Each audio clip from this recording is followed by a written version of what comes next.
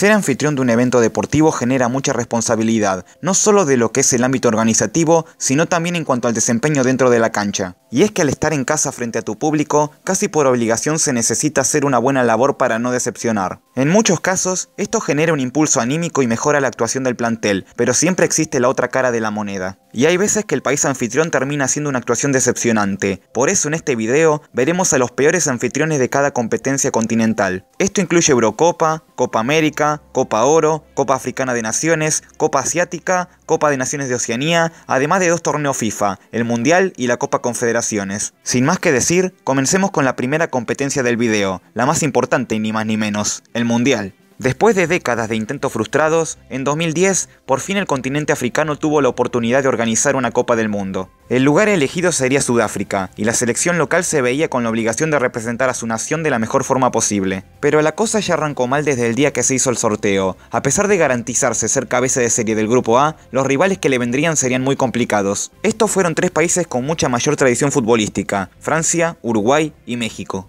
El partido inaugural enfrentó a los sudafricanos con el equipo azteca. La fiesta arrancó muy bien tras el gol de Chabalal a los 55 minutos. Pero a falta de 10 para el final, Rafa Márquez igualó el trámite para el tri y el resultado quedó en empate un gol. No era mal resultado, pero quedó cierto sabor agridulce. El siguiente juego sería ante la futura revelación del campeonato, Uruguay. La Celeste no tuvo piedad con los locales y los golearon por 3 a 0, un golpe durísimo. Para la última jornada necesitaban depender de un milagro si querían avanzar. Había que ganarle a Francia por muchos goles, o bien que Uruguay le gana a México por goleada. Y el trámite se hizo a medias, porque si bien le ganaron a uno de los peores equipos franceses de la historia, y Uruguay también hizo su labor venciendo al Tri, los dos triunfos se produjeron por la diferencia de un solo gol, por lo que los Bafana Bafana quedaron terceros de grupo con 4 puntos. Con lo mismo que México, pero con peor diferencia de gol, por lo que quedaban eliminados del certamen y eran el primer, y hasta el momento, único equipo anfitrión en quedarse afuera en primera fase. Ahora la pregunta es, ¿creen que este año la actuación de Qatar supere en cuanto a lo negativo a la de Sudáfrica? Rivales complicados ya los tienen, ahora veremos qué pasa.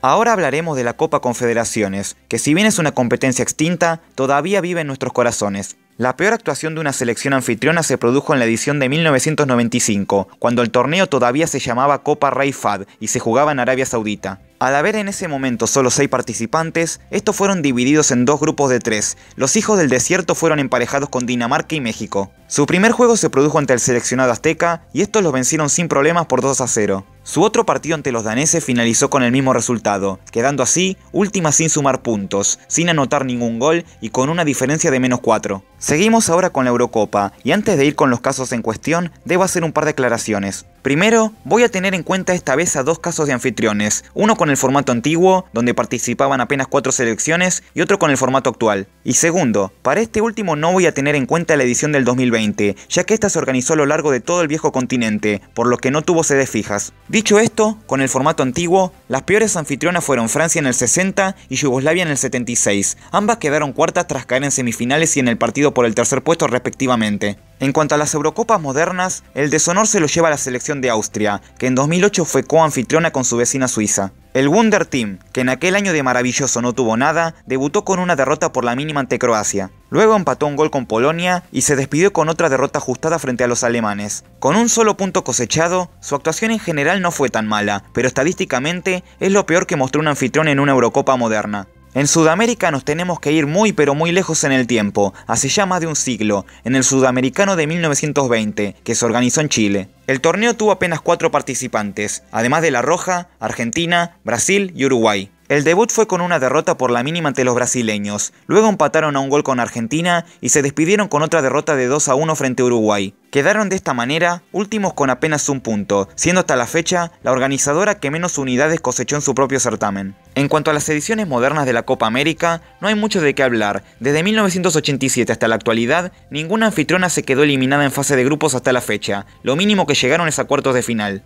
Nos vamos ahora a la CONCACAF para encontrar la peor actuación de un anfitrión en la Copa Oro. Para ello, debemos remontarnos a la época de su predecesora, el Campeonato de Naciones. El deshonor lo tiene el equipo de Trinidad y Tobago, que en 1971 se hizo cargo de organizar el certamen. En lo que era un torneo hexagonal, los trinitenses debutaron con un empate a un gol frente a Honduras, luego cayeron por 2 a 0 ante México y Haití los humilló con un 6 a 1. Cuba les remontó un 2 a 0 en contra para terminar igualando en dos tantos y recién en su despedida pudieron conseguir un triunfo, cuando vencieron a Costa Rica por 3 a 1, muy tarde para escapar de la penúltima posición y ser el peor anfitrión en un torneo continental de la CONCACAF. Nos vamos al continente africano para conocer al peor anfitrión de la Copa de Naciones. Primero, hay que hacer una mención especial a Sudán en la primera edición de 1957. Estos jugaron un solo partido donde cayeron ante sus vecinos de Egipto en semifinales. El tema es que solamente participaron apenas tres equipos. Así que si queremos encontrar un verdadero caso de un organizador que fracasó en su intento de mostrar una buena cara frente a su público, nos tenemos que ir a 1994. Ese año, el torneo se llevó a cabo en Túnez, y las Águilas del Cartago no hicieron otra cosa que decepcionar. La fase de grupos consistía de apenas tres equipos. En el grupo A, los tunecinos fueron ubicados junto con los equipos de Mali y Zaire. Contra los malienses cayeron por 2 a 0, mientras que ante los leopardos no lograron pasar del empate. De esta manera, Túnez quedaba última de grupo con apenas un punto y fue la única que no avanzó de ronda.